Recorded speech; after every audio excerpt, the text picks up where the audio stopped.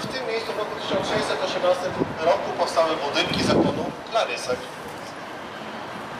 Istniały one, proszę Państwa, mniej więcej do drugiej połowy lat 70. XIX wieku, czyli do roku 1878.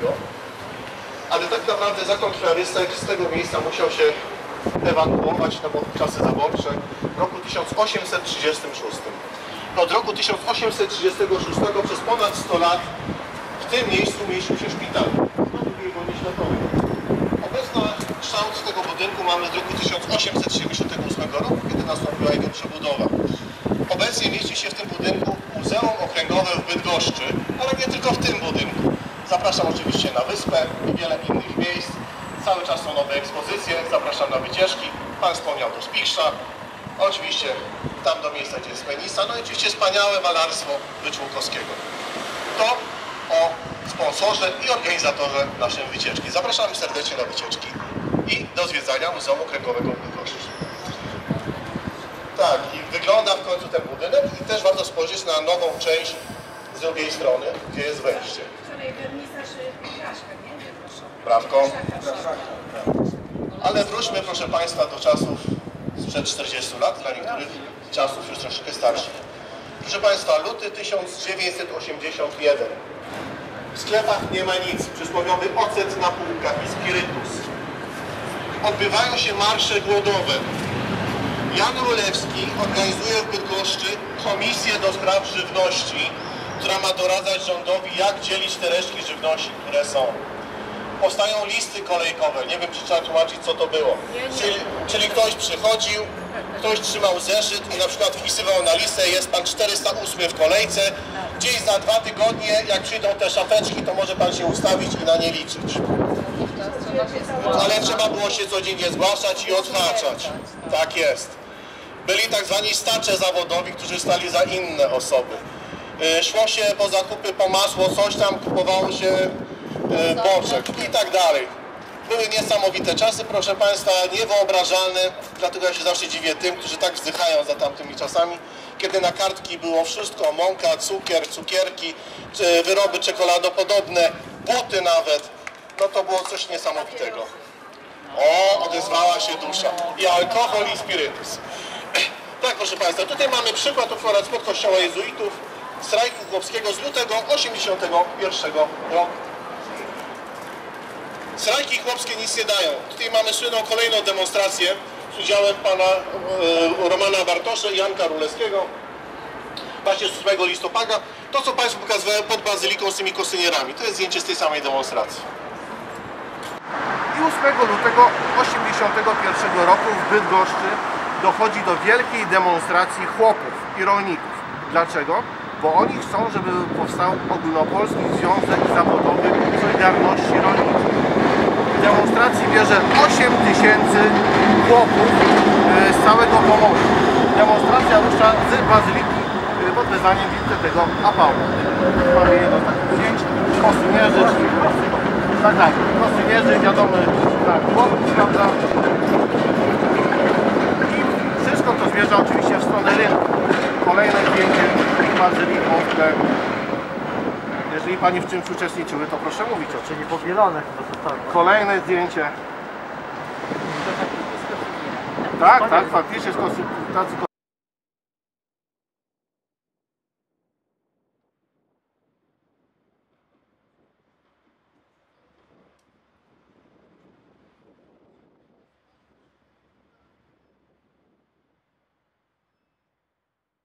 Dziewiętnastego marca odbywa się tutaj sesja Wojewódzkiej Rady Narodowej, na której działacze Solidarności chcą wystąpić i przedstawić, dlaczego strajkują i co chcą osiągnąć. Mają to podobno obiecane. Ale sesja trwa, mija godzina za godzinę, za godziną i to ich wystąpienie się coraz bardziej jakby przesuwa, przesuwa, przesuwa i wygląda, że na to tego No, ale wystąpienia konkretnie kto miał wtedy wystąpić? Ruleski? Czy no Ruleski i przedstawiciele tego, tego chłopskiego tak, ruchu związku? chłopskiego. Ogólnie było tutaj 35 działaczy związanych z Solidarnością i Solidarnością chłopską. Tutaj mamy ich zgromadzonych na zdjęciu. Więc oni czekają, proszę Państwa, na swoje wystąpienie, ale niestety do tego wystąpienia nie dochodzi. Na salę na sali znajduje się przewodniczący Wojewódzkiej Rady Narodowej, pan Berger i w pewnym momencie na salę wkracza policja. Tak, tutaj mamy wejście, prawda? Poznajemy. Tu jest ta ściana. Widać, że się troszeczkę to wszystko zmieniło. Wkracza policja. Na salę też przybywają wicewojewodowie, tutaj pozwolę sobie spojrzeć, pan Władysław Przyjemski i pan Roman Bąk. I jest bardzo ostra dyskusja. Solidarność mówi, że skoro jest to sesja Rady, a oni są obywatelami, to mają prawo, skoro zgłosiliście wcześniej, do wystąpienia, nawet zabrania głosu w wolnych wnioskach. Atmosfera zaczyna się zagęszczać, zaczynają się krzyki i w pewnym momencie na salę wkracza ileś osób, do dzisiaj nie wiemy ile, podobno około 10-12, w cywilnych ubraniach, które się po prostu rzucają na działaczy Solidarności. Pan Jan Rulewski określa ich bokserami, komandosami, judokami, którzy za pomocą specjalnych ciosów, chwytów ich obezwładniają całą tę grupę, dochodzi do pobicia i następuje duża interwencja policji. Tu mamy kolejne zdjęcie. I to, co Panią chciałem pokazać przez moment, więc może zapraszam na najkrótszy spacer.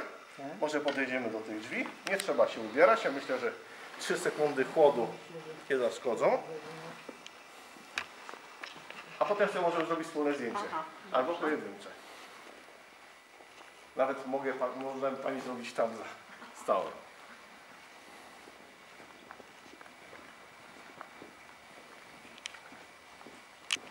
Jestem na spacerze z przewodnikiem. Aha, to są te drzwi. Tak, to są te drzwi. Także na razie.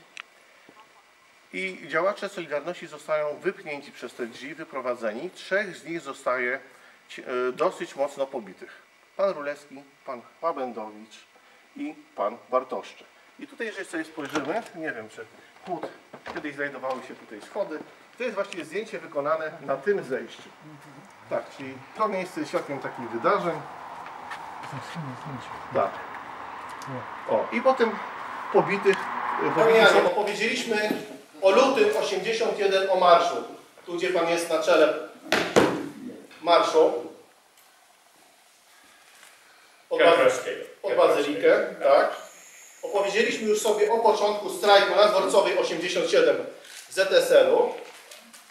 I doszliśmy właśnie w naszej opowieści do tego, jak Państwo jesteście już tutaj i co tu się dzieje. To już za chwileczkę dojdę. Czyli atmosfera się zagęszcza. I mamy, proszę Państwa, wracamy jeszcze raz, bo jest kilka zdjęć z tych wydarzeń. Może Pan troszeczkę opowie o tych emocjach, jakie temu towarzyszyło, nerwach, jak to wszystko było, czy do dziś drż ręce drżą, czy już się tyle wydarzyło, że to tylko jedno z wielu wspomnień. Jak pan wszystko powiedział, to ja dziękuję i wracam do domu. Nie. No, ale trzeba tak, żeby nie tracić czasu. Ale powiem szczerze tak, jak już mówimy o wydarzeniach Bydgoskiego Marca, choć one są zwane prowokacją, za, o czym za chwilę, to rzeczy też się spóźniliśmy, z czego pewno się władza cieszyła, ale e, spóźniliśmy się i na to przyszliśmy w nadkomplecie. I to jest ważne. E, Za Państwa plecami jest taka widownia. Na ogół wszyscy chcą politycy, czy nawet działacze związkowi, takim byłem jestem nadal, e, byliby zadowoleni, że ta widow, na tej widowni ktoś siedzi. A zwłaszcza w tamtych czasach. E, se- Serwowane różne e, e, reglamentowane posiłki wówczas, żeby ta widownia była. A i tak ona była pusta. A my przyszliśmy na tą radę. I teraz zacznijmy od nazwy. To jest ważne, bo ona otwiera jak gdyby dyskusję, i, która nie jest do dzisiaj zakończona. Nie jest do dzisiaj zakończona, ponieważ y, dokumentacja uległa zniszczeniu, zwłaszcza na poziomie biura politycznego. To, co mamy, co w książkach występuje, to są zaledwie szczątki. Y, y, Ona została nazwana pierwotnie prowokacją bydgoską od miejsca Bydgoska, a prowokacja. Co to jest prowokacja? To jest świadome działanie ludzi, człowieka lub ludzi, grupy ludzi, żeby wywołać nieoczekiwane skutki dla otoczenia i dla tych samych ludzi. Zatem coś nieplanowego, coś, co się wymyka spod kontroli. Ma oczywiście kontekst ujemny. y, prowokacja, bo nikt nie lubi być zaskakiwany. Choć są prowokacje pozytywne, na przykład ja jestem daleko od prowokacji, bo powinienem pan przybyć tu z kwiatami, szampanem czy coś i sprowokować nastrój radości. A ja przyszedłem tylko gadać, gadać, gadać. Czy y, nazwa prowokacja bydgoska y, nazwał to jeden z najinteligentniejszych działaczy w ogóle opozycji demokratycznej w Polsce, a również w okresie Solidarności, Karol Modzelewski. Karol Modzelewski, warto ma, maleńki wstęp biograficzny, jak Państwo nie znają. E, e, e, Jego cechą charakterystyczną było miejsce działalności i, i, i sama oczywiście inteligencja. Miejsce działalności tu było ważne, że on mieszkał w Warszawie, e, e, jego ojciec był ministrem sprawiedliwości, zatem miał bliski dostęp do różnych wieści, które rozgrywały się na szczytach władzy, władzy komunistycznej, która była przecież dość, e, dość zamknięta, szczelna. I on uznał w tym pierwszym momencie, że na tym szczycie władzy jaszcze, e, betoniarze walczą e, z liberałami. Ekipa liberalna to Jaruzelski, powiedzmy, no może nawet Kania, to Ciosek, to e, powiedzmy jeszcze kilku innych, Namiotkiewicz, tam kilku tych działaczy. A ekipa betoniarzy to oczywiście mm, Olszowski, Olszewski, Olszowski, e, Olszowski już nawet zapomniałem, też z przedłużeniem tutaj do towarzysza Majszaka i tej całej tutaj czołówki. I na czym prowokacja zatem polegała? Że ekipa betoniarzy podrzuciła konflikt Jaruzelskiemu, żeby przerwać wówczas ogłoszone przez liberała Jaruzelskiego i Kani 90 dni spokoju. Przypominam, że jest y, premierem już wówczas y, mundurowy premier y, generał. I w ten sposób, żeby ona umywała od tego ręce i wskazywała, patrzcie, ci liberałowie też nie panują nad spokojem, trzeba chwycić to za mordę. Trzeba chwycić y, tę solidarność i przy okazji też liberałów za mordę. Czas na betoniarzy. I to było bardzo chwytliwe. Ci, co wszyscy słuchali, jeszcze zważywszy na cechy e, organoleptyczne, a zwłaszcza płuca Modzelewskiego, jego piękną wymowę, prawda, i logiczną, wszyscy uznali, że, że ta komuna, która nigdy nie miała czystych rąk i zawsze była za zamkniętymi drzwiami, pewno coś uknęła. I tak to się przyjęło. Tytuł Prowokacja Bydgoska. No ale w trakcie różnych dyskusji, mogę już, żeby ten te wątek zakończyć, prowokacja, e, miało miejsce, wokół tej e, padło 18 scenariuszy prowokacji. O jednym powiedziałem, proszę zauważyć, z jakich to ust wychodzi. A później pojawiały się inne, między innymi znany Państwu, bardzo też przeze mnie ceniony, można powiedzieć, że nawet lekko wychowywany przeze mnie Radosław Sikorski. Niespodziewanie w jakimś wywiadzie, ale to po latach już. E, Zaczął ten wywiad też niespodziewanie, a wie pan, mówi panie redaktorze, ten Rulewski to miał prywatne porachunki z majorem Bednarkiem. I przez te prywatne e, e, porachunki doszło do utopienia, Pola, po, mogło dojść do utopienia w morzu krwi Polski. Oczywiście to było przeciwko mnie. Nie wiem dlaczego, nie wiem czemu aż tak surowy nakaz. Po drodze były inne jeszcze prowokacje pisane przez agentów TW. Jeden z nich, Bydgoszczanin, podsuwał, e, podsuwał mechanizm prowokacji. E, jest taki list do towarzysza Kani, on był oczywiście tajnym współpracownikiem, ale takim bojownikiem i współpracownikiem. On nie donosił, żeby donosić, on chciał po, po prostu nas przewrócić, Solidarność przewrócić. I on donosił między innymi w tych 18 mechanizmach prowokacji, że idzie znaleźć materiały, z których wynika, że tu na zapleczu, tu właśnie za tymi drzwiami, które były tajne, zamknięte, nie tak ładne jak teraz. Koledzy dali po gębie Rulewskiemu, żeby wyszło, że to komuna dała. I on zna nazwiska tych działaczy, którzy to podpiszą. I jeszcze przy okazji powie, że zna lekarzy wojskowych, którzy podpiszą, że ja byłem w stanie używania środków, no powiedzmy, napędowych jakichś, prawda? I lekarze się z taką opinią zgodzą. A skończmy z mechanizmami prowokacji i przejdźmy do rzeczywistości. Tą rzeczywistość wyznaczały fakty, które znamy. A więc y, decyzja o użyciu sił zapadła na posiedzeniu biura politycznego z lekką, lekką obsuwą, bo Kania był w Budapeszcie i czekali wszyscy, jak wróci jeszcze pierwszy sekretarz. I gdy wrócił, podjęto decyzję, tak przynajmniej Jaruzelski wspomina, stosunkiem głosów 4 do 3 o użyciu sił. Zatem to było świadome. A tą świadomość wyznaczały inne fakty.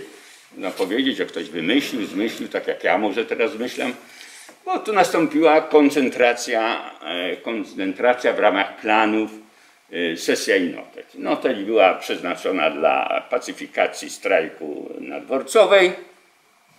Wobec tego tam były zgrupowane jednostki policji z kilku województw. Także trudno, żeby komendant wojewódzki bydgoszczy zapraszał z kilku województw, bo takiej mocy nie miał.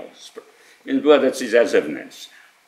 Później, mm, ponieważ w ZSL-u ci, co strajkowali, część ich była działaczami ZSL-u, sekretarz, pierwszy sekretarz ich tam ZSL-u, Wojciech Wesołowski, powiedział, że nie może używać siły wobec swoich członków i działaczy partyjnych.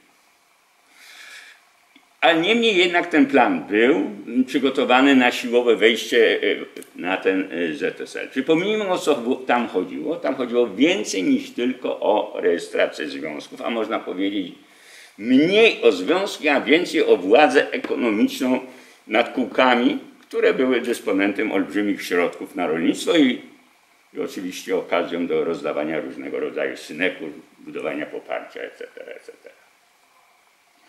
A, a tam pojawiła się siła, dajcie nam te pieniądze, to my będziemy razem, my chłopi będziemy gospodarować. W międzyczasie wybuchła sesja. Ona nie wybuchła. Ona była przygotowywana i Pan tu wspomniał. Ta manifestacja, o której Pan wspomniał, zakończyła się, nie wiem, pójdziecie Państwo na Stary Rynek, przed, y, przed y, pomnikiem męczeństwa. Było bardzo dużo ludzi. Byliśmy, byliśmy y, niemile zaskoczeni tą frekwencją, tą bojowością tych ludzi. A ja na prędce, na prędce skomponowałem dalszy scenariusz walki, działań. To nie była walka, to jest złe określenie. To była realizacja postulatów 11, y, 12 i chyba 14, które mówiły o wyżywieniu narodów, porozumieniu gdańskim. Swoich dalekich tam już, o których nie będę opowiadał, ale one szły przez przygotowanie y, naukowe, powiedziałbym, sesy, taką konferencję, jedyną w świecie, konferencję żywnościową, którą organizował Związek tu w Nocie, doszliśmy do wniosku, że po pierwsze kartki są niezbędne, niezbędne na ten czas do, uspokojenia rynku, a nadto jak ważne było, jak te kartki podzielić. I to nasze stanowisko tej konferencji trzech posiedzeń z całej Polski, z fachowców, takich rząd nie miał, e, zostało przyjęte przez rząd i kartki weszły 1 marca. 1 marca 81, a my jesteśmy 19. Ale już w tych kartkach, mogę Państwu powiedzieć, była tkwił korekta. Ja o tym wiedziałem, ale w imię tego, żeby jednak dać czas na rządowi nam związku, nikt się tym specjalnie nie chciał zajmować. A wiemy, czym braki mięsne, co rodziły nie tylko w Polsce, ale w krajach bloku komunistycznego. I nie tylko mięsne. Więc y, już, była, już była korekta. Już można było się spodziewać więcej gorszego scenariusza. I w tej sytuacji myśmy uznali, że ta rejestracja związku, ale w ogóle sytuacja żywieniowa narodu wymaga radykalnych rozwiązań, nie rewolucyjnych. Przecież negocjowaliśmy, rozmawialiśmy, prowadziliśmy dialog. Uważaliśmy również, że może te impulsy, nie ukrywam też nasze ambicje związkowe. No miałem i obowiązek realizować postulaty, ale też ambicje. No mój Boże, no, nie, mogę, nie mogę się wstydzić. Nie muszę udawać takiej panienki z dobrej pensji, która się wszystkiego wstydzi. Tak. Mieliśmy ambicje, żeby zmienić tu w Bydgoszczy, w województwie. Dlaczego? Bo tutaj było najwięcej poznańskim u nas chłopów na swoim. To oni najbardziej odczuwali i oni najbardziej mieli rozwiązania, jak wyjść. No, a tym rozwiązaniem to upo- upodmiotowienie, to rynek, to oczywiście swoboda zrzeszeń, po to, żeby mogli negocjować te okresy przejścia. No i teraz już ekspres włączamy. No idziemy na, e, i na tym, przepraszam, jeszcze jesteśmy na Starym Rynku.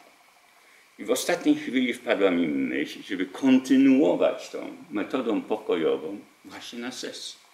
I odczytałem rezolucję, która kończy się wezwaniem do odbycia specjalnej sesji na temat wyżywienia narodu, tu wśród swoich. Rozpoczęły się negocjacje bardzo trudne. Nie było takie, że zapraszamy, cieszymy się i jeszcze e, herbatę stawiamy tu, że jak przyjdziecie. Odwrotne. A po co, dlaczego, ile osób, o której godzinie, a może potem, a może, a jakie tematy, a może jednak nie, prawda, bo my mamy plany. No i w końcu wyszło, to Gotowski negocjował. Te negocjacje przypominały negocjacje Bidena e, z Putinem, takie drobne. No i w końcu doszło do tego, że, na tej sesji, która odbędzie się 19, w ostatnim punkcie, w punkcie, czego ja już nie wiedziałem, to było też prowokacyjne, ukryto pod wolne wnioski. A wolne wnioski każdy mógł zgłaszać. I mogły być uchylone, bo dyskusja wolne związki, a nade wszystko. Wolne wnioski są na końcu, kiedy już wiara opuszcza, a to ludzie ze wsi i nikt tego nie będzie słuchał. I tego ja się najbardziej zbałem. Blamaż.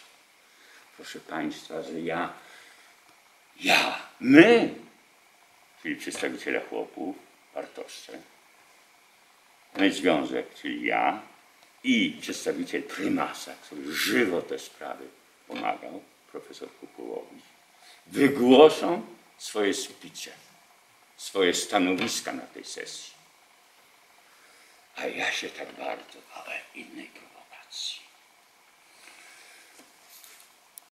Przed tym odwołali, pouczyli ich, co mają robić, a gdy oni już wrócili, to milicja nas usuwała. Oto przez te drzwi, które były za kotarą. Nikt nie wiedział, że te drzwi. I tam rozegrała się etap. No oczywiście główną siłą uderzeniową nie byli ci milicjanci, tylko tych paru karateków, które weszło w nas, nie pozwala, żeśmy się y, ramionami szczepili, śpiewaliśmy hymn, kobiety do środka padło wtedy to wszystko. No i to była przepychanka. Przepychanka. Na razie tu nie było pysku. Dopiero tam na zapleczu mm, y, ci ludzie, którzy już przybyli tam na zewnątrz, obiegli, dowiedzieli się skąd, że będą tu nas wypychać. I tam nas wypychano, pamiętam, mnie czterech niosło tam mocno, energicznie bym powiedział, to nie był uścisk miłosny. I gdy krzyczały mi, nie chciały brać udziału, jedynie demonstrowały. Także frekwencja była do poziomu Komitetu Wojewódzkiego Partii, wszyscy jak gdyby byli po, y, powiedzmy po stronie Solidarności. Największy strajk w historii Europy. Tak, szacuję. tak. Także mówią o 17 milionach u, uczestników, nie strajku, ale w akcji protestacyjnej.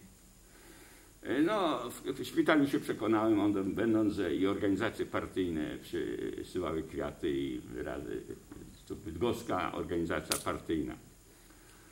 E, I, czy- I zatem można było odwołać, tylko warunki tego odwołania były zwycięstwem dla komunistów, powiedzmy dla tamtej strony, bo nie załatwiono. No, załatwiono w końcu, ale przez determinację chłopów, którzy trwali do momentu rejestracji tu w Bydgoszczy, do 17 kwietnia.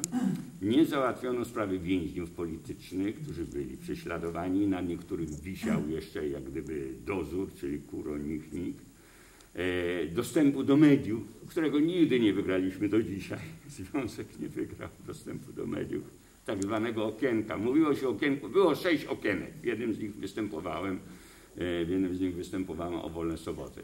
Ale nawet już później okienek nie było, zawsze to był Samitowski i inni, podobnie zresztą dzisiaj trochę też to sytuacja bo jest podobna. Yy, No, przede wszystkim też jednak yy, mm, odkryliśmy, że władza ma swoje scenariusze i chcieliśmy, żeby tu zwłaszcza w Bydgoszczy była kontrola nad służbami, służbami, yy, organami bezpieczeństwa. Żeby ich reakcje, może nawet post factum, bo nie, czasem jest nagła sytuacja, one muszą reagować, ale post factum, żeby była kontrola poczynań. Tak jak to teraz w tym państwie demokratycznym jest, że jest kontrola poczynań, że one nie były wydzielone yy, wydzielone. Także mm, to, yy, ta cena później się zemściła w grudniu, gdy właśnie ten ostatni postulat, kontrola, spowodował, umknął naszej kontroli, nie tylko naszej kontroli, że wywołał ten dramat stanu wojennego, bo po prostu służby wojskowe i policyjne były poza kontrolą społeczną i budowały scenariusze, wcześniej zresztą przyjęte yy, rozprawienia się z Solidarnością. Tutaj może tylko trzy zdjęcia Państwu pokażę jeszcze. Naprawdę poparcie było w całym kraju. Tutaj przykład ręcznie robionych plakatów z klejonymi zdjęciami, którymi były oplakatowane całe Trójmiasto.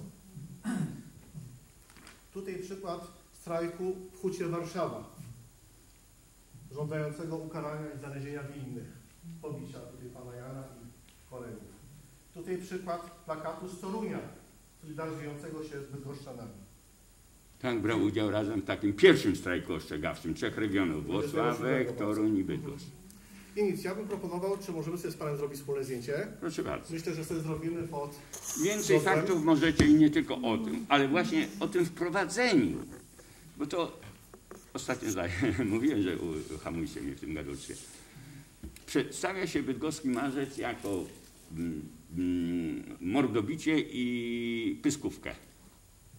Tak się na ogół, dostałem po tej wizycie tutaj premiera i prezydenta, gdy to puszczano całość, relacje, to się e, jeden z dobrych działaczy, Janek mówi, ja dopiero teraz się dowiedziałem, o co w tej Bydgoszczy chodziło. Ja myślałem, że tylko chodziło, że ci po mordzie dali. A czasem niektórzy mówią, że dobrze, że za mało dali, prawda, ale to, to jest inna już sprawa. E, e, więc, e, więc i dlatego postanowiłem, że te, w książce to wprowadzenie jest opisane. Ja może jeszcze tylko dopowiem taką rzecz może smutną dla Pana Jana. Wtedy kolportowano liczne ulotki, prawda? Oskarżono Pana o wypadki samochodowe, Tak. że jest Pan Niemcem. Tutaj jest porównanie Pana Jana do Hitlera. Cytat, zestawienie y, wypowiedzi z Hitlerem. Oryginalny plakat z tamtego czasu drukowany przez rząd. A tego nie, nie widziałem. A to już Panu zaraz... Dzisiaj pan by ich pozwał wszystkich o zniesławienie i wygrał. E, Ale moja daleka znajoma z rodziny Proszę spojrzeć. e, pod e, przysięgą zeznawała, że będąc u mnie w domu, widziała portret, w którym ja występuję w mundurze Hitlerjugend.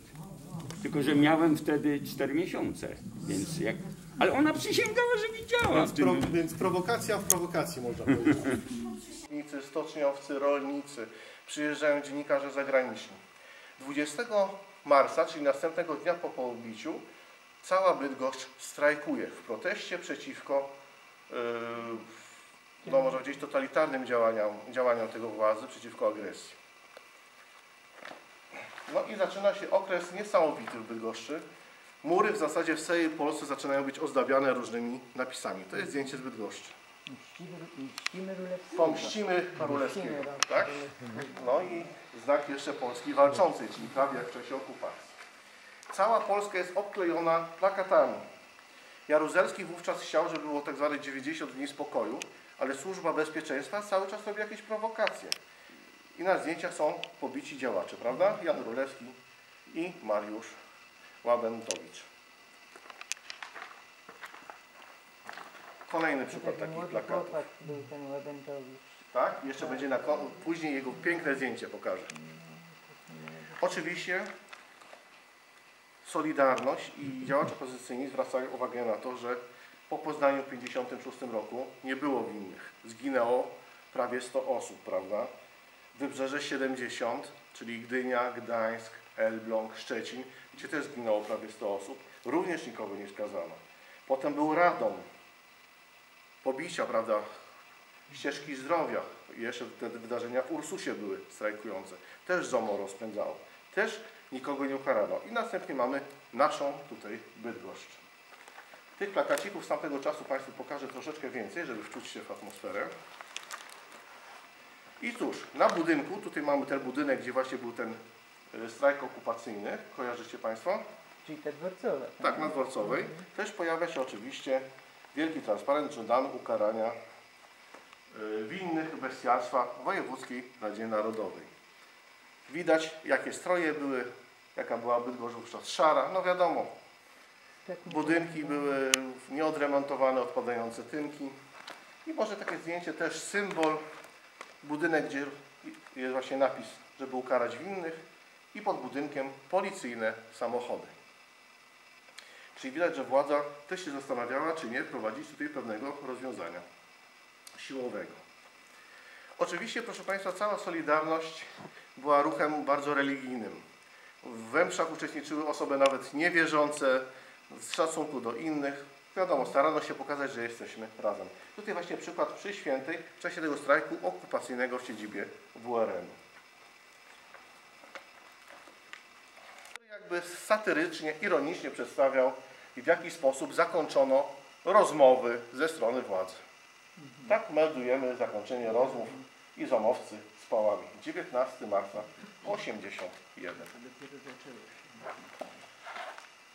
No i kolejny tutaj plakat, prowokacja, 19 marca Machu Weren Bydgoszczy. No oczywiście tutaj są pewne informacje przesadzone, bo tych policjantów prawdopodobnie było kilkudziesięciu, albo kilkuset tu by się nie zmieściło. Może kilkuset to obstawiało to całe wydarzenie. Ulicy w Gdańsku.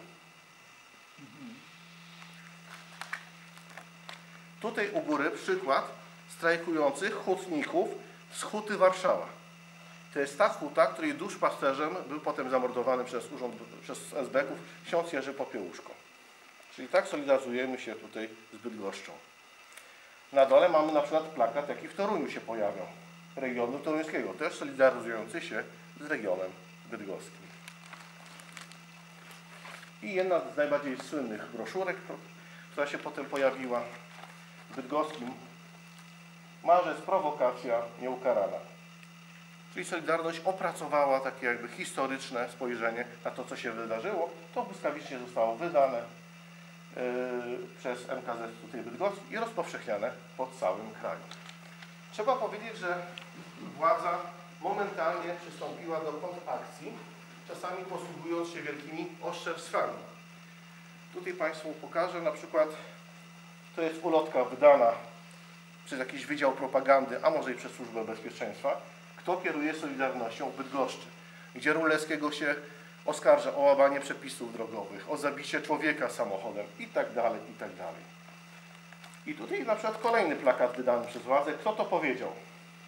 Popieramy wszystko, co szkodzi istniejącemu ustrojowi, wszystko, co przyspiesza katastrofalną katastrofę panującego ustroju. Ale druga część tego plakatu mówiła, nie, nie, to wcale nie powiedział Lipski, Rulecki, Jurczyk, Jurczyk znany działacz ze Szczecina, Lipski znany działacz Solidarności z Warszawy, to powiedział Hitler. Czyli porównywano regularnie działaczy Solidarności do rewanżystów niemieckich, do hitlerowców, do agentów CIA.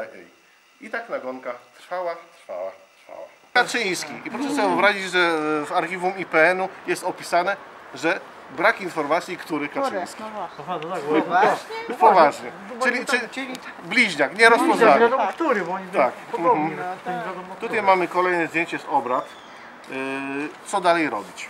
I zapada, proszę Państwa, decyzja, oczywiście świetle Jupiterów z całego świata, bo na chwileczkę do Bydgoszczy przyjeżdżają telewizje i dziennikarze z całego świata. Zapada, proszę Państwa, decyzja, że 27 marca nastąpi ogólnopolski strajk ostrzegawczy od 8 do 12. Jest to największy strajk w Europie, jaki odnotowano.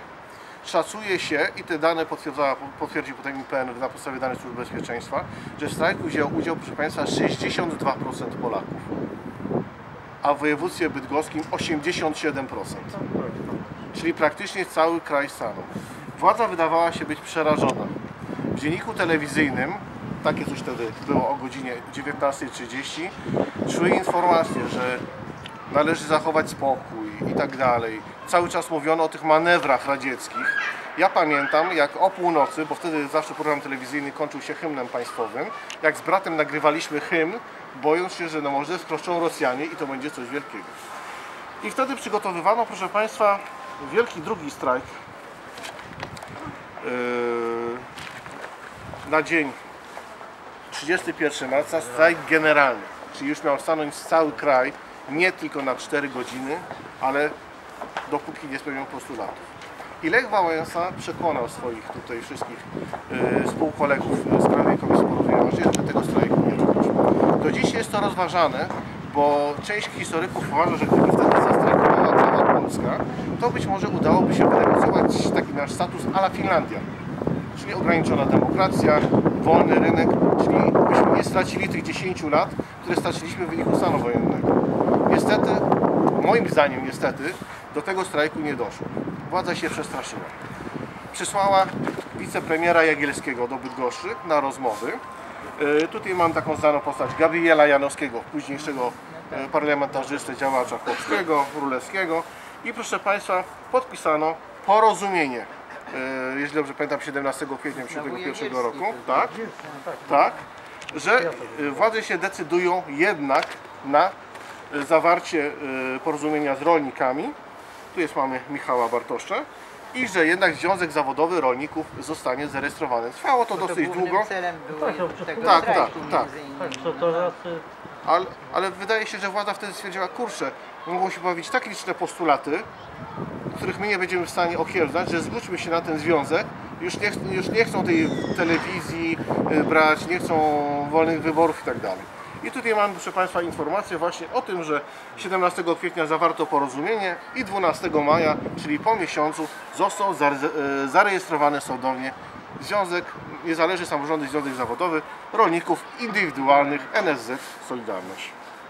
parę miesięcy trwało. No, no miesiąc. I zapraszam Państwa na rynek. Ale cóż, mimo tego porozumienia cały czas, można powiedzieć, yy, trwały procesy związane z pobiciem właśnie tutaj Łabędowicza, Królewskiego, Bartoszcze i 31 sierpnia sąd orzekł, że nie ma winnych. W związku z tym na ulicach pojawiły się takie klepsydry, że znowu w Polsce umarła sprawiedliwość. Znowu nie było winnych. Ludzie zostali pobici, nie było winnych, prawda? Tak. Wiadomo jak to rynek.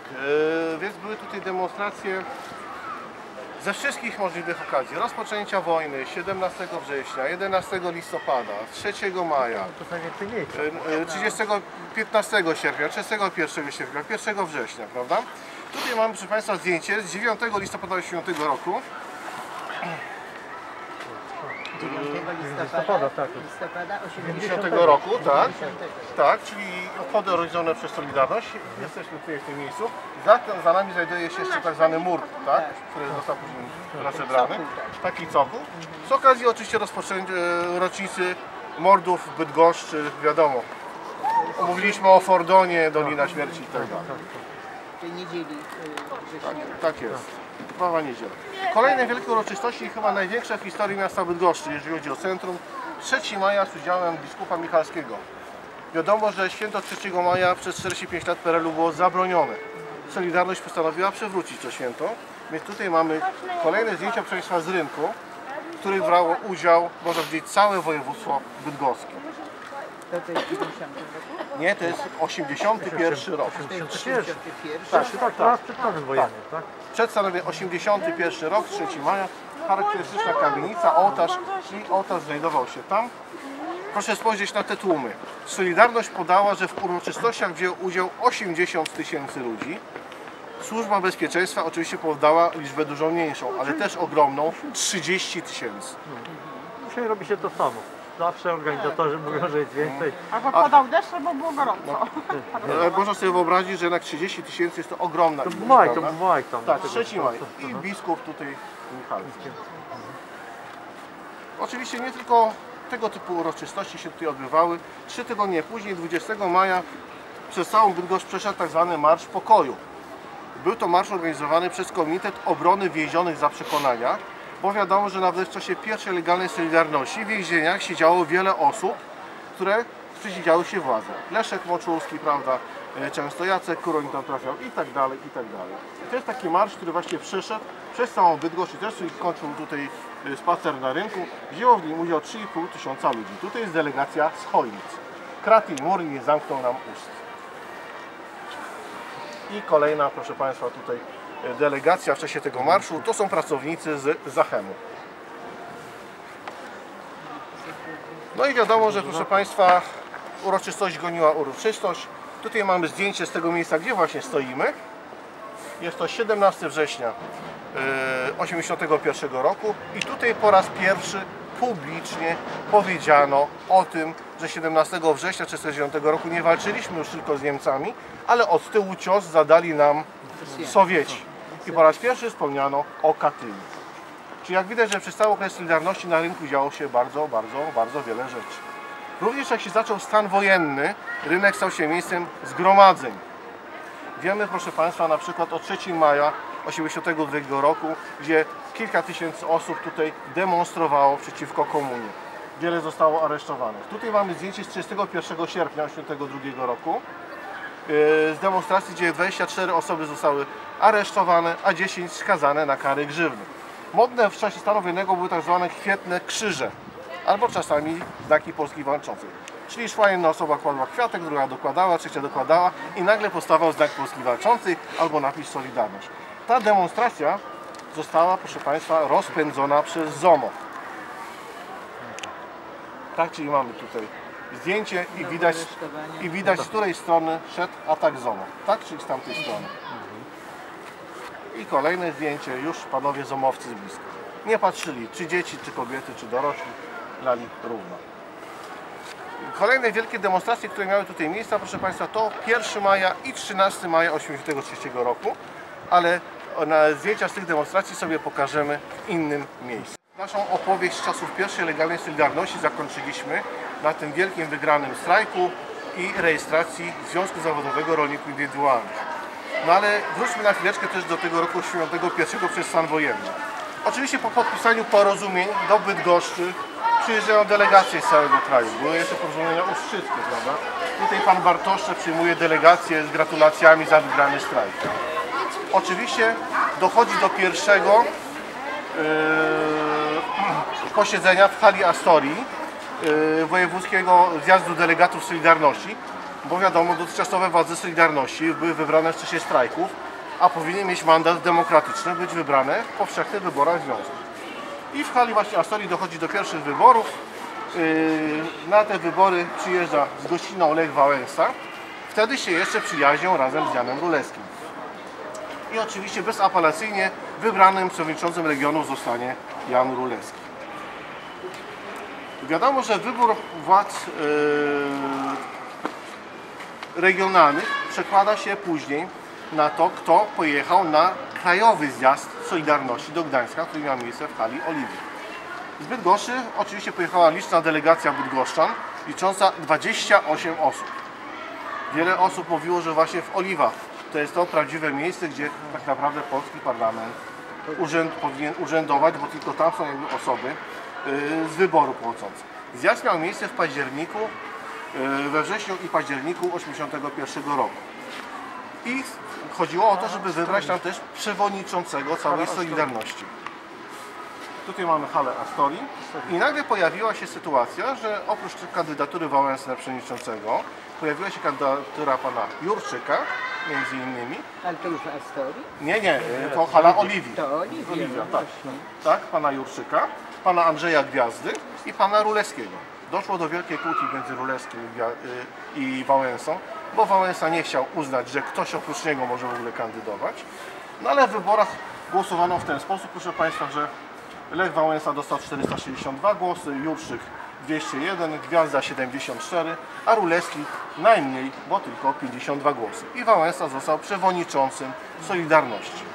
Tutaj można pewne rzeczy domniemywać, bo wiadomo, że dzisiaj, że Służba Bezpieczeństwa bardzo chciała, żeby Wałęsa został tym przewodniczącym.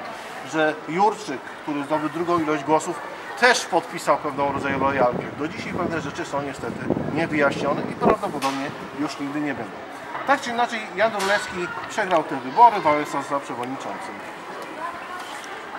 Jan Rulewski jako przewodniczący objeżdżał cały tutaj region. Tutaj mamy zdjęcie z Chojnic, jeżeli dobrze Ale pamiętam. co, ale co, czuł się Królewski rozczarowany? Tak, czuł się, bo my rozmawialiśmy tutaj z panem Tomaszem, z panem Królewskim, on na przykład uważał, że miał najlepsze wystąpienie wyborcze. Najbardziej merytoryczne, konkretne. Yy, tutaj przykład pracy pana Rulewskiego, czyli objeżdżanie całego regionu, wizyty nawet w małych miejscowościach.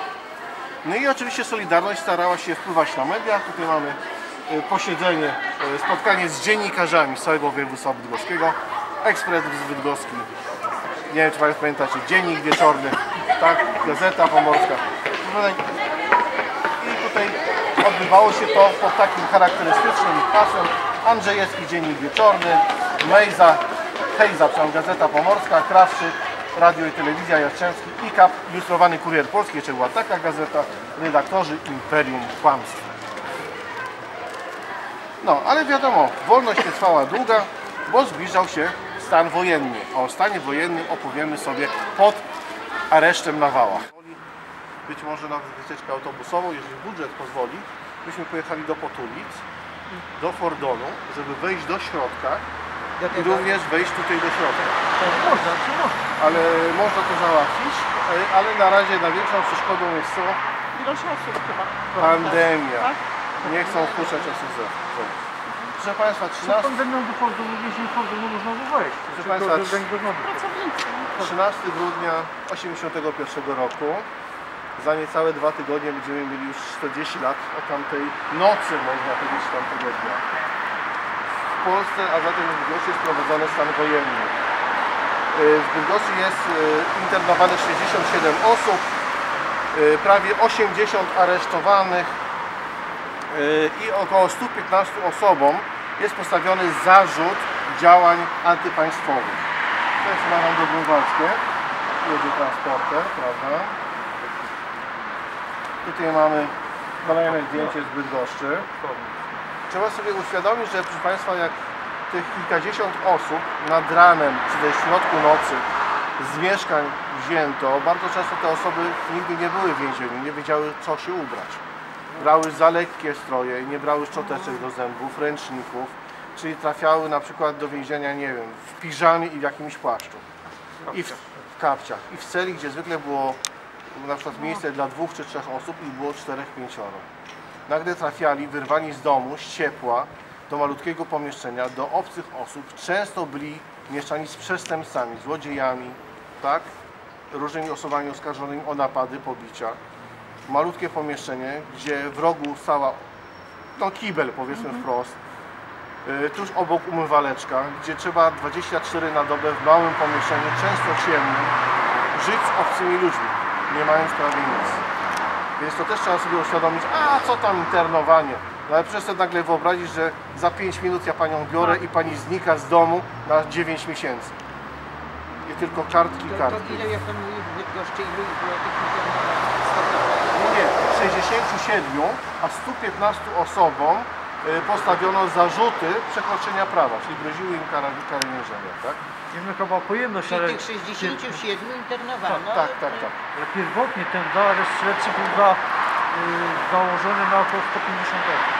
Maksymalnie więźniów, tak? Ten, jak dokładali, no było ciasno. Wiadomo, że Fordon, Grudziądz, Kwizyn to były cię, bardzo ciężkie miejsca, prawda? Troszeczkę lżejszymi były takie miejsca internowania jak Strzegelinek, Potulice. Ale na przykład była słynna sprawa w Chełmie, gdzie też trafili bydgoszczanie. Przypominam, że był grudzień, mrozy 20 parę 30 stopni. Dobra, A tam internowanych na siłę powołano do wojska i mieszkali w namiotach. I całymi dniami mieli głupie rozkazy, na przykład przenoszenie skrzyń ciężkich z miejsca na miejsce i z powrotem. I kopania w zamarzniętej ziemi rowów. Tam były nawet powołane osoby niepełnosprawne. Na całe szczęście niedawno, całkiem niedawno udało się doprowadzić do sprawy sądowej i ci, którzy spowodowali te ciężkie warunki, część tych osób została jakby skazana. No ale bydgoszczanie trafiają w różne miejsca, na przykład trafiają na słynną Białołękę. Tu mamy zdjęcie, proszę Państwa, z Białołęki. Henryka Wójca Domarskiego, Janusz Onyszkiewicz, przyszły minister obrony narodowej. Jacek Kuroń i oczywiście e, Jan Rulewski. E, Większość, proszę Państwa, internowanych jest wypuszczona po pół roku lub po roku, czyli na Boże Narodzenie w kolejnym roku większość jest w domach. Nie wszyscy. Jan Rulewski na przykład trafia potem do więzienia na Rakowiecką. W bardzo ciężkie warunki. Czyli jest kilkudziesięciu działaczy Solidarności, którzy nie siedzą kilka miesięcy, tylko siedzą rok, dwa, trzy. Czyli Uleski tak długo się Tak, tak. Tak. No. Tutaj mamy kolejne zdjęcie, proszę Państwa, jest obecnie zainternowane. Seweryn Jaworski, Henryk Wujek, prawda? No i tutaj mamy Andrzeja Tokarczuka i Jana Ruleskiego, czyli dwóch najbardziej znanych działaczy Solidarności razem. Wtedy była taka moda na zapuszczenie brud w ramach protestu. Wspomniałem, proszę Państwa, o Mariuszu Łabędowiczu. Wiadomo, że niektórzy działacze Solidarności albo się godzili na sugestie służb bezpieczeństwa, albo w jakiś sposób sami uciekali za granicę. Wśród nich był też właśnie ten pobity w URN-ie, pan Mariusz. Trudno mu się dziwić. Wybrał emigrację do Kanady. Do dzisiaj nie wiemy, ile set tysięcy osób, są pewne szacunki, zostało zmuszonych do emigracji. Mogliby być tutaj teraz w Polsce, pracować. Ich dzieci, wnuki miały tę pracę, a teraz wiadomo, jest więcej niż 1964 roku. Mój kolega Stefan Buchholz właśnie dostał e, złapany na ulotkach, dostał wyrok, dwa lata więzienia, siedział rok w więzieniu i po roku miał rozmowę z przedstawicielem Służby Bezpieczeństwa, czy tam prokuratury, powiedziano mu wprost, albo siedzisz drugi rok, albo bierzesz paszport bez prawa powrotu do kraju. Z pieczątką ma, jak wziąłem ten paszport, do jednokrotnego przekroczenia granicy. Tylko na zewnątrz. O tym się powinno trąbić, trąbić i wyjechał. Tak działał w Solidarności za granicą, wspomagał Solidarność i piękne rzeczy. Proszę Państwa, jeżeli się przejrzy archiwum IPN-u, to osób, które się przewinęły tutaj przez wały, były setki. To trzeba pamiętać, co demonstracja 20 zatrzymanych, 40 zatrzymanych, 60 zatrzymanych. Ludzie zatrzymywani w domach, na ulotkach, po demonstracjach, podejrzani. To są właśnie zdjęcia różnych, różnego rodzaju, różnych osób właśnie, które działały w Solidarności w Bydgoszczy. To tutaj był, pamiętam kiedy, był bunt więźniów, tak? Tutaj tylko, że chyba przed stanem wojennym. To tej sprawy nie znam. Muszę Państwa powiedzieć, zaczyna się stan wojenny 13 grudnia i mentalnie księża jezuici angażują się w działania patriotyczne i w tym kościele mają miejsce słynne trzynastki na Bydgoszcz, czyli każdego 13 miesiąca ma miejsce tutaj msza święta za ojczyznę, proszę Państwa. Yy, oczywiście podniosła atmosfera patriotyczna, na przykład 3 maja 1983 roku yy, po mszy zbiera się tutaj demonstracja 700-osobowa, atakuje tą demonstrację ZOMU. 23 osoby zostały, proszę Państwa, zatrzymane i skazane. Tutaj mamy zdjęcie wnętrza tego kościoła z innego wydarzenia. To jest rok 1984. Jak będą drzwi otwarte, to wejdziemy. Rok 1984 tłumy na mszy z okazji, bo Jan Ruleski został wypuszczony z więzienia i przyszedł na mszę. To pokazuje, jaka była solidarność, proszę Państwa, międzyludzka. Mówiliśmy o tym, proszę Państwa, że również yy, były pewnego rodzaju stanu, ofiary stanu wojennego. Do dzisiaj one są liczone. Istnieje tak zwana lista Rokity, która obejmuje chyba 180 nazwisk. Zwykle się przyjmuje, że ofiar stanu wojennego było około 100. Yy, Trzeba do tego też doliczyć nie wiadomo ile osób, które zmarły, bo przecież nie działały telefony, nie można było wezwać karetek. W chwili obecnej przygotowywana jest yy, publikacja na temat wypadków z bronią, samobójstw, postrzeleń, bo wyciekły dokumenty yy, MONU i okazuje się, że to jest kolejnych kilkadziesiąt ofiar stanu wojennego. Jeżeli chodzi o proszę Państwa, w lutym 1982 roku ginie Wojciech Ciesielski, który zostaje, Cieślewicz, przepraszam bardzo, który zostaje y, zakatowany przez ZOMO w Poznaniu. Człowiek spod Bydgoszczy z Chcyni, Mo- Cieśl, Cieślewicz. 29-letni człowiek zabity przez ZOMO, tutaj związany z Bydgoszczą. Pod Bydgoszczą, proszę Państwa, ginie niestety człowiek bardzo młody, Jarosław Brejza, y, 18-letni. Złapany na ulotkach, zaszczyty, zaszczuty przez, y, przez Urząd Bezpieczeństwa, popełnia samobójstwo. Jak to wyglądało, proszę Państwa, w przypadek z Torunia, takiego młodego chłopca, Piotra Krystyniaka, 18 lat, złapany na ulotkach, które rozrzucał w rocznicę zabójstwa księdza Jerzego Popiełuszki, przesłuchiwany, wraca do domu, pisze list, jak był przesłuchiwany, jak Esbek świecił mu lampą w twarz. Są ujawnione informacje, że grożono mu niezdaniem matury, pójściem w kamasze, yy, przestraszony. Domniemamy, że być może na tym przesłuchaniu powiedział za dużo i się wstydził tego przed kolegami, rzucił się pod pociąg, zginął. Jest jego strona. Czyli giną młode osoby, proszę Państwa. Tu jest pogrzeb właśnie Jarosława Brejzy w Inowrocławiu. Wielka demonstracja Solidarności. Oczywiście proszę Państwa, najbardziej znana ofiara z Bydgoszczy, pan Piotr Bartoszczy, yy, znaleziony w studzience w Sławęcinie. Oczywiście Służba Bezpieczeństwa twierdziła, że wpadł i zginął. Tymczasem na jego ciele liczne ślady pobicia, podduszania, wokół studzienki liczne ślady innych osób. Nic się nie zgadzało. Piotr Bartosze, proszę Państwa, kolejna 34 lata. Co to jest? Tutaj mamy, proszę Państwa, zdjęcie z pogrzebu pana Piotra Bartoszczy. I też wielka solidarność z jego rodziną. Też zdjęcie z tego kościoła, charakterystyczne łuki, proszę Państwa. Lech Wałęsa był ojcem chrzestnym jego syna, Piotra Bartoszcza, też Piotra. Czyli opieka nad rodziną. Inne osoby pomagały takim osobom aresztowanym, internowanym, wyrzuconym z pracy. Były składki na żywność, na ubrania, na wszystko. Oczywiście wielkie demonstracje zawsze miały miejsce 1 listopada na cmentarzach. Cmentarz to było miejsce, gdzie można było postawić tabliczkę Solidarność, złożyć kwiaty, zapalić znicze. W nocy oczywiście ktoś te tabliczki niszczył, wiadomo kto. To kolejne zdjęcie tutaj z Bydgoszczy. I może wyjdziemy, jak przebywa ksiądz Jerzy Popiełuszko.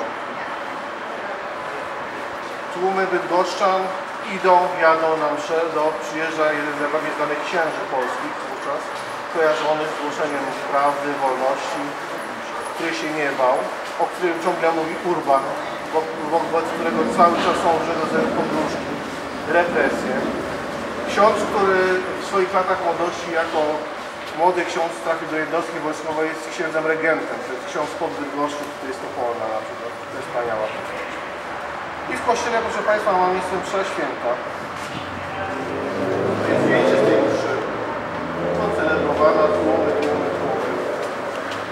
Ksiądz Popiełuszki mówi niewiele. Mówi między innymi, że każda wiara powinna łączyć się właśnie yy, z pewną sferą duchową, ale też i z przyjęciem ewentualnego cierpienia. Można powiedzieć, że sam sobie w jakiś sposób wywróża to, co stanie się za parę godzin.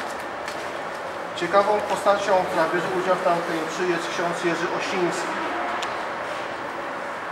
Okazuje się po latach, że również tajny współpracownik Służby Bezpieczeństwa pseudonimie Jerzy. Człowiek, który w 90 roku umiera na wylew krwi do mózgu w podejrzanych okolicznościach. Chwilę po tym, jak odwiedził rodziców księdza Popiełuszki. Być może coś im powiedział, a być może Służba Bezpieczeństwa nie chciała, żeby coś potem ujawnił i może coś się strasznego, proszę Państwa, stało. Ksiądz Jerzy Popiełuszko wyrusza ze swoim kierowcą Waldemarem Kostowskim bez żadnej obstawy do Warszawy. Do dzisiaj wielu działaczy Solidarności, w tym pan Jan Rulewski, ma ogromne wyrzuty sumienia, że nie pojechali razem z nim jako obstawa. W Górsku pod Toruniem samochód zostaje zatrzymany, ksiądz Popiełuszko zostaje wrzucony do esbeckiego Fiata przez przebranych stroje cywilne esbeków. Waldemar Krostowski siada z przodu, miejscowości udaje mu się wyskoczyć z samochodu. I to na tym kończy się to, co mniej więcej wiemy o księdzu Jerzym. Nie wiemy tak naprawdę do dzisiaj, czy ci, których skazano za zamordowania księdza Jerzego, to są prawdziwymi mordercami. Nie zgadzają się ich zeznania co do czasów przyjazdu, czasów postoju. Różaniec księdza Jerzego jest odnaleziony w Toruniu pod mostem drogowym, w miejscu, gdzie według ich zeznań nigdy nie byli. Dzisiaj w zasadzie się przyjmuje, że oni po prostu przekazali księdza Jerzego innej ekipie morderców. Ciało księdza Jerzego znalezione jest 30 października yy, w Zalewie Wiślanym we Wrocławku. Yy, Są świadkowie, którzy twierdzą, że to ciało tam zostało wrzucone dopiero 26 października, czyli w tym dniu, kiedy już dawno Piotrowski, czyli ten morderca z SB, już dawno siedział. Że być może ktoś inny je tam wrzucił. Pogrzeb księdza Jerzego ma miejsce w Warszawie 3 listopada 1984 roku. Na pogrzeb wyruszują w zasadzie można powiedzieć masy, masy działaczy Solidarności, zwykłych ludzi z całej Polski. Tutaj mamy zdjęcie właśnie Bydgoszcza, prawda? Yy, się szacuje, według różnych danych, że w pogrzebie brał udział między 600 tysięcy a milion osób. Cała Polska jest przybrana kirem, biało-czerwone flagi z czarnymi tasiemkami, wielka żałoba narodowa. W dniu pogrzebu księdza Jerzego Popiełuszki, jak gdyby nic, program trzeci Polskiego Radia, pana Niedźwieckiego, puszcza listę przebojów trójki, radosną i dowcipną. mimo że cała Warszawa jest żałobie. Tutaj mamy zdjęcie delegacji bydgoskiej z rodzicami księdza Jerzego Popiełuszka. Być zwyciężonym nie uległ to zwycięstwo, Solidarność i tak dalej. Czyli proszę Państwa, myślę, że najbardziej straszne wydarzenie z dziejów tutaj Solidarności Bydgoskiej, Toruńskiej i miejscowość Górsk, miejsce porwania księdza Jerzego, tam gdzie teraz znajduje się krzyż pamiątkowy. Na początku nie wiedziano, w którym miejscu dokładnie porwano księdza Jerzego, tych krzyży było kilka. One były przez Służbę Bezpieczeństwa nocami niszczone i odbudowywane. Tak, wyglądało to w ten sposób, że rozrzucano na mieście ulotki, że tego i tego dnia na falach krótkich pomiędzy tyle a tyle kręć gałką i szukaj naszego sygnału. Zwykle nie podawano dokładnie fali, żeby służba bezpieczeństwa nie mogła ustawić na ten moment zagłuszarek. I proszę Państwa, niestety e, te audycje zostały proszę namierzone przez Służbę Bezpieczeństwa w akcji pacyfikacji poszukania brało udział 300 zomowców. Całe osiedle zostało sterylizowane, to był rok 1984. Ale od nowoczesnych technologii.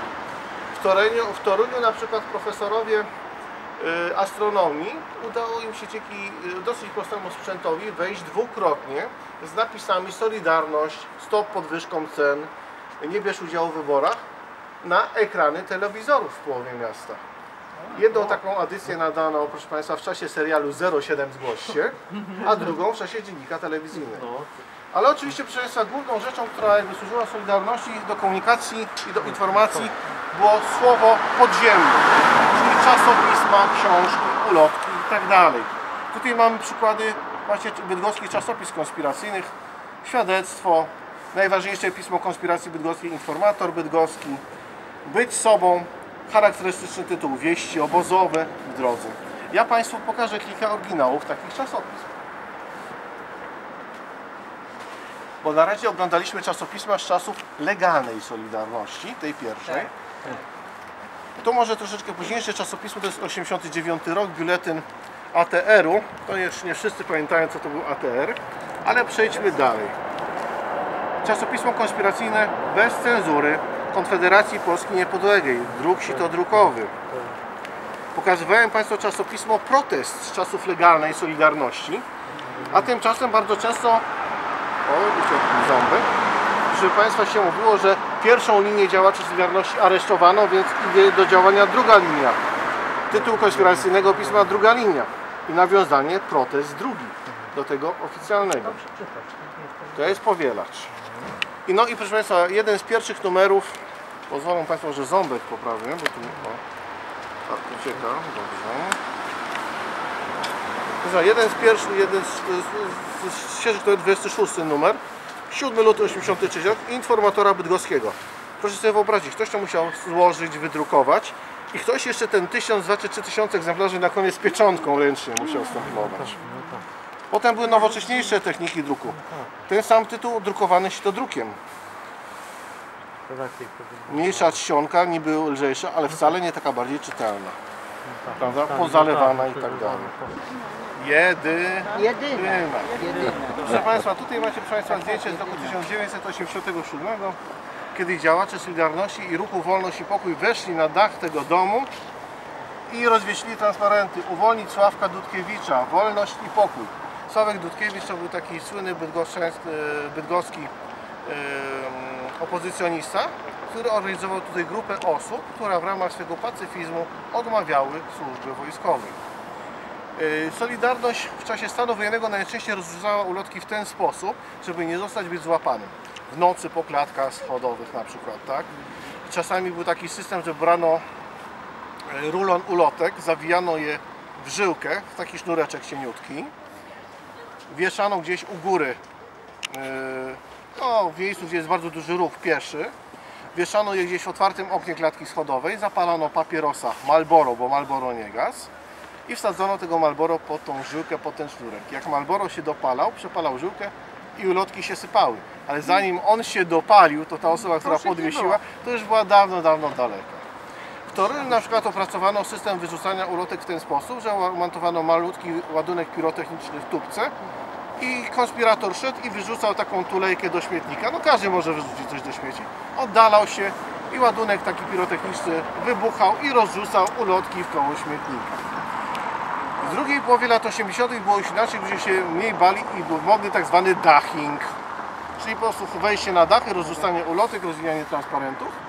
I tutaj mamy kolejną taką akcję na takim jakimś kiosku spożywczym, również na ulicy, proszę Państwa, Dworcowej.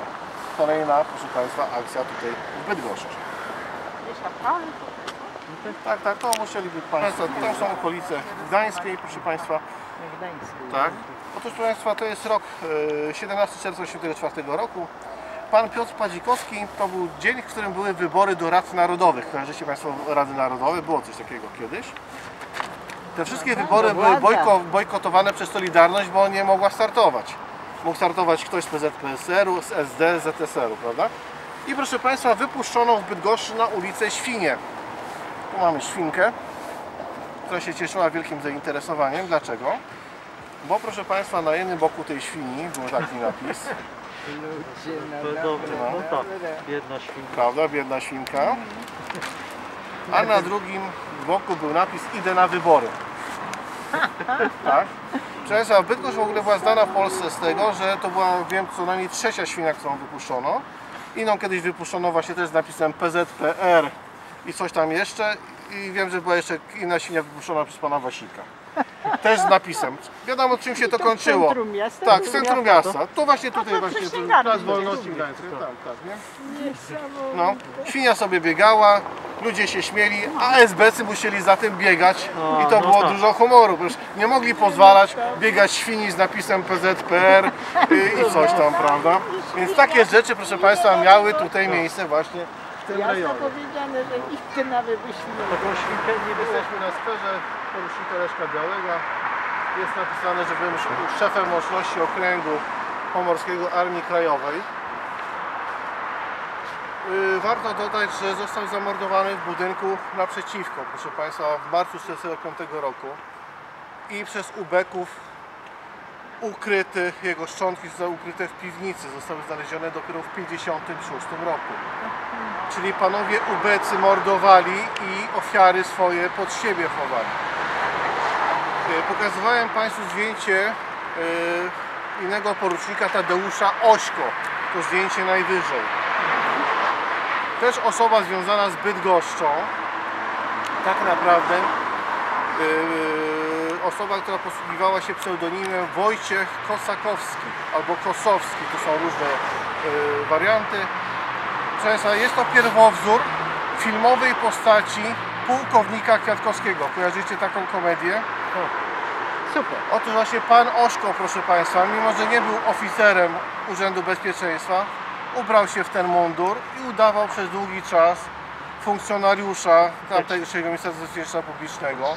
Udało mu się uwolnić kilku kolegów z Armii Krajowej. Jest to pierwowzór postaci pułkownika Kwiatkowskiego ze znaną rolą Marka Kondrada, prawda? I Renaty Dancewicz. Ciekawostką jest to, że yy, porucznik Ośko został schwytany w leśniczówce pod Bydgoszczą, zaraz za Fordonem. Czyli końcowa scena filmu, która dzieje się w takim jakby dworku, tak naprawdę miała miejsce pod Bydgoszczą. Dlaczego o tym mówię, proszę Państwa? No, w czasie strajku rolniczego, o którym rozmawialiśmy yy, i okupacji budynku ZSL-u, yy, na przykład wychodziło pismo wydawane przez środowisko rolnicze pod tytułem Rota y, w drugim obiegu poza zasięgiem cenzury. Było to pismo wydawane przez osoby, które konspirowały w czasach stalinowskich przeciwko komunizmowi organizacji podziemnej ROTA. I 30 lat później, i 30 lat później zaczęły wydawać czasopismo, którego tytuł był hołdem dla swoich kolegów i wspomnieniem własnej działalności z lat młodości. Czyli można powiedzieć, że ci, którzy walczyli o wolną Polskę w latach 40. i 50. znaleźli prawdziwych swoich naśladowców, a nawet jeszcze nawet sami działali, proszę Państwa, w latach 80. i 90. Tutaj można przytoczyć też postać pana Hebdy Szarego. Odsyłam do in- internetu. Żołnierz Armii Krajowej, człowiek, który uwolnił w czasie niemieckiej okupacji z więzienia setki osób, dowódca oddziału partyzanckiego. Staruszek był internowany 13 grudnia. bo tak władza się bała jego poglądów. Taka wspaniała klamra pomiędzy żołnierzami Armii Krajowej i latami 80. Słynny biuletyn informacyjny Armii, Kra- e, bi- biuletyn informacyjny KORU, tytuł pierwsze jakby e, zapożyczenia, czcionki były z biuletynu informacyjnego Armii Krajowej. Kolejna taka historia łącząca lata 40. i 80. I zapraszam do Solidarności w roku 81. Gośćmi regionu bydgoskiego była rodzina Gwiazdów i pani Pieńkowska. W uroczystościach w tym parku brało udział 4,5 tysiąca ludzi. To jest właśnie zdjęcie ze sceny jedno. I kolejne z osób uczestniczących w tych uroczystościach. Tak?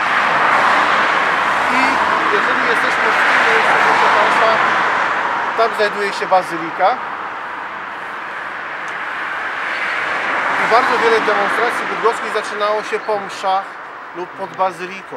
I demonstranci, proszę Państwa, szli właśnie tą ulicą do Markwarta, no i w stronę potem Starego Rynku. I chciałbym Państwu pokazać kilkadziesiąt zdjęć z demonstracji, które miały tu miejsce. Część budynków Państwo rozpoznacie. Największe demonstracje, które tędy y, tą trasę przemierzyły były 1 i 13 maja 1983 roku. I proszę Państwa, cóż można powiedzieć, y, stąd ruszały liczne demonstracje właśnie ta 8 lutego chłopów z czasu pierwszej Solidarności. y, 22 marca mówiliśmy tutaj o mszy tej w intencji pokoju, bo groziło nam wejście Rosjan.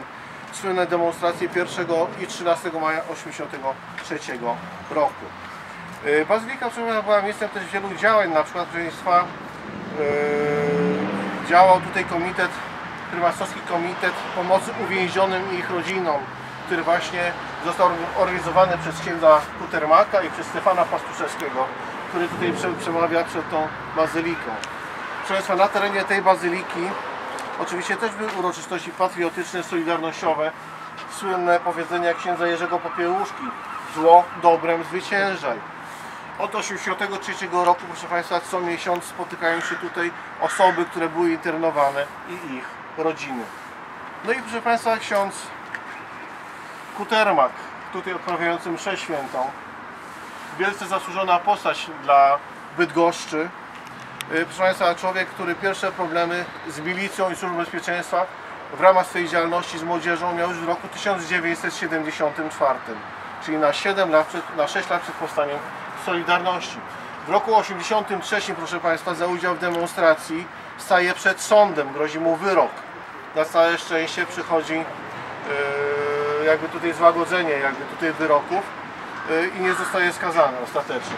W roku 85, proszę Państwa, widząc Służbę Bezpieczeństwa, która robi zdjęcia i nagrywa opozycjonistów, yy, przez moment przechowuje odebrany SB-kom sprzęt. Znowu jest oskarżony. Umiera niestety rok wcześniej, w 86 roku. Ulica ku jego pamięci znajduje się w Nowym Fordonie. Tak daleko, a chciałoby się, żeby była przy miejscu, przy którym działał. I zapraszam. Nasza wycieczka jest po czasach Solidarności. Ja pewne rzeczy przypomnę. Wiem, że tu są osoby, które doskonale te wydarzenia pamiętają, żyją, bo to czasy wielkich emocji. Otóż, proszę Państwa, był rok 80. Była sobie Bydgoszcz, a w Bydgoszczy był na przykład Romet, gdzie pracowali pan Antoni Tokarczuk, Jan Rulewski. Żyło sobie społeczeństwo spokojnie, mając kartki na cukier, zaczynało brakować mięsa i tak dalej, i tak dalej. I tu nagle przyszły wieści 15 sierpnia, że w Gdańsku wybuchły strajki i nie tylko w Gdańsku, bo wcześniej na Lubelszczyźnie. I proszę Państwa, 18 sierpnia, nie wiem czy będzie, jak będą niewidoczne zdjęcia, to muszę mówić. Dobrze? I proszę Państwa, 18 sierpnia wybuchają również strajki w Bydgoszczy. Między innymi w Formecie, tu mamy zdjęcie z napisem "Solida- e, Solidaryzujemy się z robotnikami Wybrzeża. Yy, Strajkują zakłady telekomunikacyjne. Yy, Odbywają się masów. 28 sierpnia do strajku dołania się wojewódzkie e, przedsiębiorstwo komunikacyjne i można powiedzieć, że strajk obejmuje całe województwo. W strajku bierze udział około 60 zakładów pracy, przy czym w komisji zakład, e, w międzyzakładowym komitecie strajkowym są 42 zakłady. E, MKS ma swoją siedzibę od początku września na terenie Rometu. Y, Przewodniczącym zostanie MKS-u Jan Królewski. Y, Warto wspomnieć, że jest to można powiedzieć początek Solidarności Regionu Bydgoskiego, która przed 13 grudnia liczy, proszę Państwa, 280 tysięcy ludzi. Czyli obecnie w całej Polsce członków Solidarności jest około 500 tysięcy. Czyli wtedy region bydgoski, można powiedzieć, stanowił 60% tych ilości członków, co teraz cała Solidarność. Tutaj możemy jeszcze spojrzeć sobie na kolejne zdjęcie Bydgoszczy, napis wykonany na polewarce czy które solidaryzujemy się z Wybrzeżem. Chciałem Państwu powiedzieć, że zobaczycie Państwo około 150 ilustracji, a dla osoby najwytrwalszej na koniec, którą ja wybiorę, przekażę kalendarz wydany w podziemiu, wydrukowany jako pamiątkę dzisiejszej wycieczki. Dlaczego, proszę Państwa, spotykamy się pod Bazyliką Wicowego Apollo? Dlatego, że ten kościół zawsze się kojarzył z patriotyzmem. Jego budowa rozpoczęła się w roku 1925, w tym roku tu burowano kamień węgielny. Dlaczego rok 1925? Między innymi wtedy były już zamysły, żeby uczcić dziesięciolecie odzyskania niepodległości. Mamy słynne wydarzenia marcowe, o których będzie dzisiaj bardzo dużo. 22 marca 1981 roku jest tutaj ogromna msza w intencji pokoju, pokojowego załatwienia sporu. Uczestniczy kilkadziesiąt tysięcy groszy. Widać, że bazylika jeszcze, proszę Państwa, otynkowana, znaczy nie otynkowana. Kolejne zdjęcie pokazujące tłumy. Cały ten czas, proszę Państwa, to były tłumy, tłumy, tłumy. Jak będziemy na kopule, będzie można sobie wyobrazić to, jak to wyglądało z góry. Oczywiście cały stan wojenny odbywają się tutaj msze święte w intencji internowanych, uwięzionych, o wolność. Tutaj mamy mszę po 1984 roku, właśnie z ojczyznę, która miała miejsce na zewnątrz. Charakterystyczny napis, cytat z księdza Jerzego Popiełuszki, zło dobrem zwycięża. Cóż jeszcze, proszę Państwa? Działa tutaj oczywiście Komitet Promiasowski od 1982 roku, który założył pan Stefan Pastuszewski, który pomaga internowanym, uwięzionym oraz ich rodzinom. Od 1983 roku regularnie w miesiącu spotykają się tutaj rodziny osób uwięzionych, aresztowanych, pobitych. Cały czas księża z tejże parafii pomagają tym osobom. Te, proszę Państwa, demonstracje, z których też zdjęcia pokażę, albo rusza stąd, w stronę Starego Rynku, albo ze Starego Rynku rusza tutaj. Mamy demonstrację, proszę Państwa, sierpień 82 roku, y, 1 maja, 80, y, 3 maja 82 roku, 1 maja 83 roku i tak dalej, i tak dalej. Oczywiście trzeba tutaj opowiedzieć o postaci pana, pana, nie będzie, przepraszam, pana e, księdza proboszcza Antoniego Strykarza, który przybył do Bydgoszczy w roku 1968, a w 1973 roku zakłada duszpasterstwo na Stryżku, gdzie od połowy lat 70. można powiedzieć już się mówi o tym, że socjalizm nie jest jedyny ustrój, że trzeba myśleć o wolnych wyborach, a już wiadomo, rok 80 to jest wybuch, jakby powiedzmy tutaj spotkań opozycyjnych. Na ten stryżek Państwo dojdziemy i zobaczymy.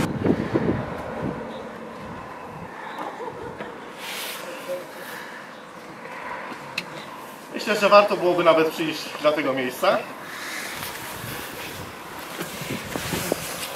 Jak tam nitrochem? Dajemy radę? Dajemy. Dajemy? Dajemy, dajemy, dajemy. Musimy dawać. Nie, ja tutaj dziękuję.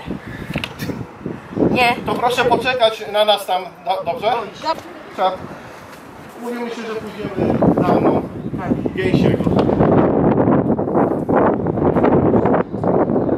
I mam nadzieję, że ta była te tylko 2200 ton, bo nie wiem, czy Państwo wiecie, że to tyle waży, jakoś wytrzyma te nasze naszą tonę. Dodatkowe kilogramy. No myślę, że aż tak nie ciążymy.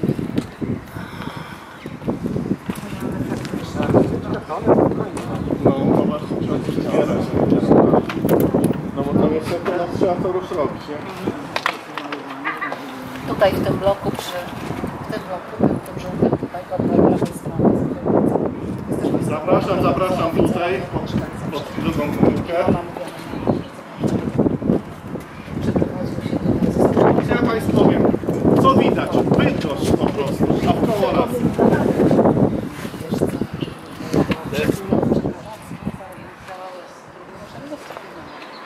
No to, to przypominam, idziemy za mną powolutku gęsiego, dobrze?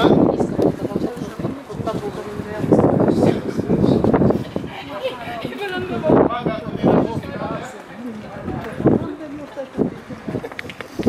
To chyba od niedawna, nie?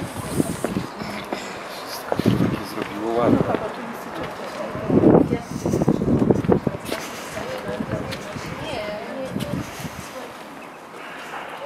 To jest przepiękna wierzba. To znaczy ja to w ogóle nie była wysoko. Nie, była. Dobrze, że pan tak powiedział. No z tej strony tam, z tej strony masz nową Bydgoszcz, to już wiesz. Tak nam się nie podoba.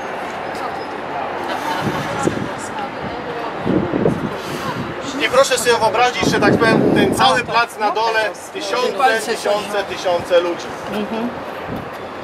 To pole, jeszcze będę mówił o demonstracji w Bydgoszczy, która według danych Służby Bezpieczeństwa zgromadziła 30 tysięcy ludzi, a według danych Solidarności 80 tysięcy. 30 tysięcy, proszę Państwa, to są trzy pełne stadiony Polonii, że szpilki nie wepchnie. Zdjęcia już zrobione, widok na starą Bydgoszcz, na kapuściska i inne rzeczy zrobione. Jakby co, tu mam zdjęcia e, z sierpnia To co, to schodzimy powolutku. 81 roku. Byliśmy na imprezę, e, czyli na e, Stary Rynek po imprezie Solidarności. Ja ojciec nie mógł robić zdjęć, dał mi aparat, wysłał mnie przed, przed, przed tłum i tam robiłem zdjęcia, potem się zgubiłem, bo nie mogłem wrócić. Sam wróciłem do domu tramwajem, a oni mnie szukali po całym Bydgoszczy. Ale, ale zdjęcia są fajne. Kilka rzeczy. Ten ołtarz i tak ogrom ludzi.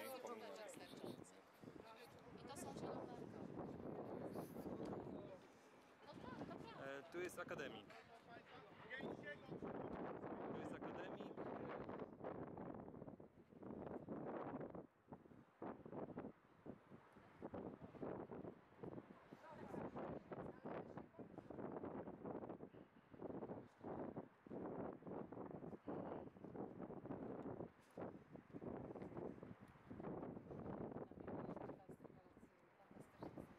Tutaj pan Marek Koczmara otrzymuje sztandar Solidarności Rolniczej ufundowanej z nielegalnych zbiórek, też wydarzenie wielkie kościelne. Proszę Państwa, formułują się pierwsze e, oficjalne, aczkolwiek też nielegalne komisje zakładowe Solidarności. Solidarność wychodzi z podziemia. Mamy rozmowę okrągłego stołu, słynna rozmowa wcześniej Jodowicza z Wałęsą. Z Bydgoszczy startują dwa wielkie solidarnościowe komitety. Solidarność Bydgoszczy się dzieli. Jest jeden komitet solidarnościowy z panem Stefanem Paszczewskim i panem Tadeuszem Jasłudowiczem. Y, Drugi komitet, który startuje w wyborach 1989 roku, jest komitetem obywatelskim Lecha Wałęsy. Ogromna kampania reklamowa. Wiele, wielu z nas pamięta tamte wybory, gdzie Solidarność zwykle uzyskiwała 65-70% głosów. Uzyskała wszystkie miejsca w Sejmie, które mogła uzyskać, 33% miejsc i 99 miejsc na 100 w Senacie. Tylko e, w miejscowości Piła e, senator ze strony Solidarności nie został wybrany. E, Kandydat na senatora nie został wybrany. Z Bydgoszczy, proszę Państwa, senatorami zostają pan Aleksander Paszyński, Antoni Tokarczyk, Antoni Tokarczyk wielokrotnie tutaj wspominany, a posłami Ignacy Genter, oczywiście pan Helak, Andrzej Wybrański to Roman Bartoszek, o którym dzisiaj. Kampania reklamowa kandydatów, tędy dzisiaj dreptaliśmy. No i proszę Państwa, następuje kolejny zjazd Solidarności, drugi legalny zjazd Solidarności w Bydgoszczy, na którym przewodniczącym po raz drugi zostaje wybrany Jan Rolewski. A jego zastępcą zostaje Andrzej Musielak, to jest taka ciekawostka, bratem pana Andrzeja Ryszard Musielak, który był szefem podziemnej Solidarności w Toruniu. Dlaczego przychodzimy też do tej kaplicy? Bo ta kaplica też była świadkiem wielu tajnych spotkań, nie tylko w czasach Solidarności, ale też w czasach stalinowskich. Kaplica jest y, y, chyba zbudowana w 1949 roku, jeżeli dobrze pamiętam, dobudowana. Chciałem Państwu powiedzieć, że wówczas y, nas, y, wspominali Państwo o wypuszczeniu tej świni na Placu Wolności. Taką świnię też wypuścił oprócz pana Padewskiego również pan Wasik. A jego ojciec, proszę Państwa, jest, był architektem i projektował, proszę Państwa, w czasach stalinowskich wyposażenie, wystrój wnętrz kościołów i w tej kaplicy były zaprojektowane, proszę Państwa, mimo że to były czasy stalinowskie, za to chodziło więzienie, orły w koronach. I dlatego tu między innymi wyszliśmy. Yy, Niestety lub stety wystrój kaplicy uległ zmianie, proszę Państwa, w latach 60. i nawiązuje do tysiąclecia państwa polskiego, Wielkiej Opory Imieniny, prawda? Tu jeszcze można dodać, że Y, Kaplica też jest jakby miejscem spotkań unitów, prawda? Czyli spotykają się tutaj osoby, chrześcijanie o rządku wschodnim. Y, Warto tutaj zwrócić na uwagę obrazu Antoni Częstochowskiej, które powstało na przełomie lat 60. i 70. ubiegłego wieku z okazji obchodów tysiąclecia państwa polskiego, jak to się mówiło w PRL-u, a tak jak to mówił kardynał Wyszyński, obchodów tysiąclecia sztuk państwa